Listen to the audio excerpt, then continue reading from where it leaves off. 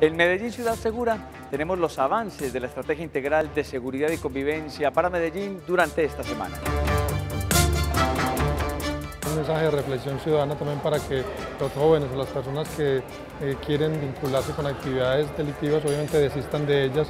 Eso solamente nos va a causar daño y llegar aquí donde he llegado yo, a la cárcel Bellavista. Equivocarse eh, es válido, pero no corregir sí es reprochable. Medellín. Todos por la vida.